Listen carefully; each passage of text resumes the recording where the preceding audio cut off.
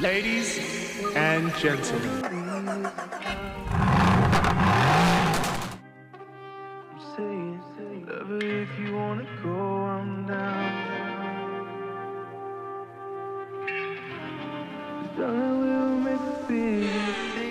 Witam bardzo serdecznie na prezentacji kalendarza do sezonu trzeciego, split pierwszy, World League of Players, no i oczywiście runda pierwsza, czyli najsłynniejszy tor, jeżeli chodzi o sporty motorowe, położony oczywiście w Anglii, czyli Silverstone, no i oczywiście historia, którą zna każdy, czyli że pierwotnie było to lotnisko z czasów II wojny światowej.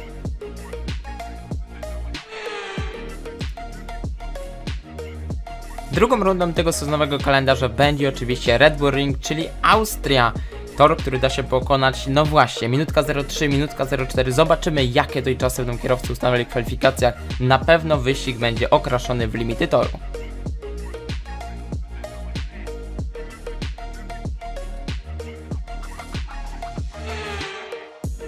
Runda trzecia, zostajemy cały czas na starym kontynencie, no i oczywiście SPA, czyli legendarny tor wyścigów samochodowych, położony właśnie w regionie Ardenów, e, no i między dwoma miastami, czyli oczywiście Spa-Francorchamps, no i tor położony w pobliżu zarówno jednego, jak i drugiego miasta. Jak to będzie, jeżeli chodzi o naszych kierowców na SPA, oczywiście okaże się w sezonie numer 3.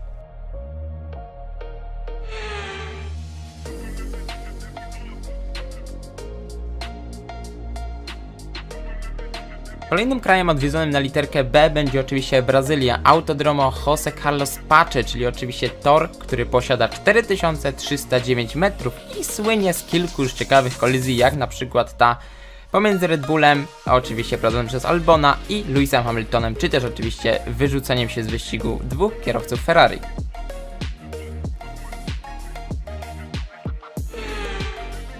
Runda piąta, co prawda wbijamy się tutaj jak widać w deszczową aurę, no ale oczywiście Hiszpania, czyli legendarny tor Katalunia Barcelona. Jeżeli chodzi o F1 23, został kolejny raz przebudowany, no i naprawdę z tego co mówią wszyscy kierowcy daje teraz maksimum frajdy.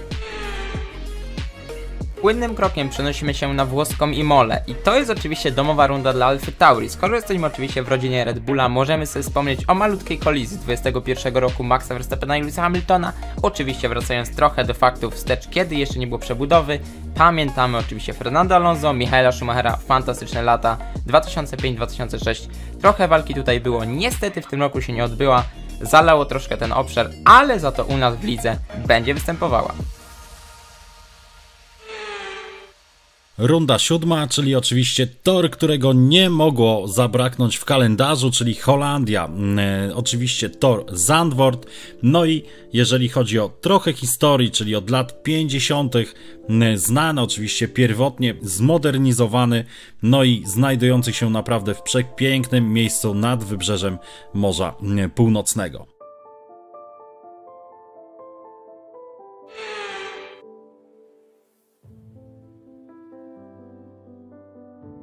Ósmą rundą będzie oczywiście włoska Monza, nitka położona nieopodal Mediolanu, świątynia prędkości, ale czy tej prędkości wystarczy Maxowi Verstappenowi, aby przebić rekord Sebastiana Vettela i Alberto Ascariego, żeby wygrać 10 wyścigów z rzędu?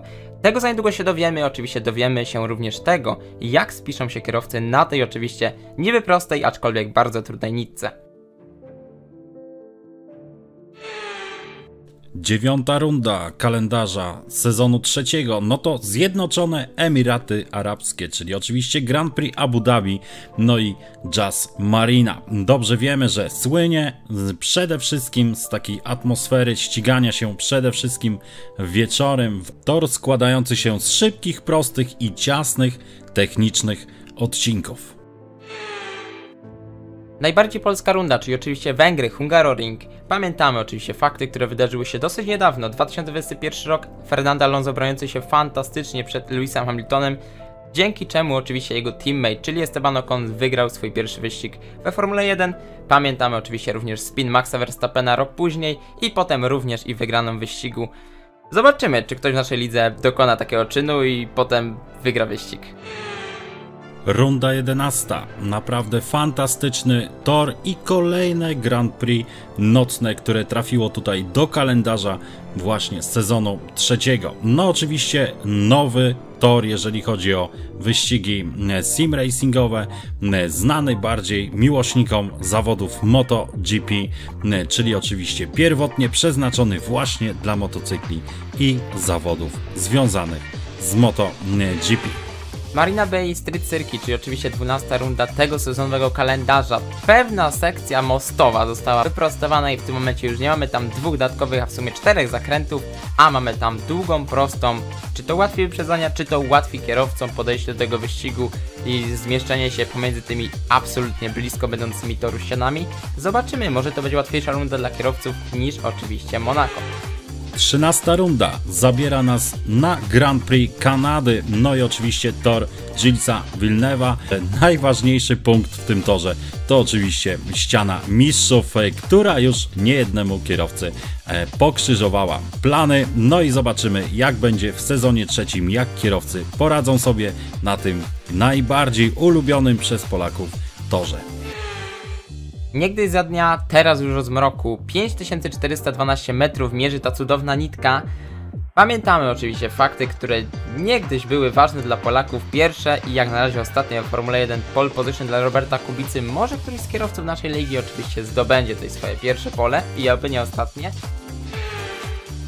Finałowa runda 15, no i trafiamy do Australii, czyli oczywiście Albert Park malownicze, przepiękne miejsce, świetny tor, też delikatnie zmodyfikowany, no ale jednak to dalej jest Australia, dalej te zakręty, dalej te proste, no i oczywiście wiele miejsc do wyprzedzania. Ladies and gentlemen. Say it, love it if you wanna go, I'm down.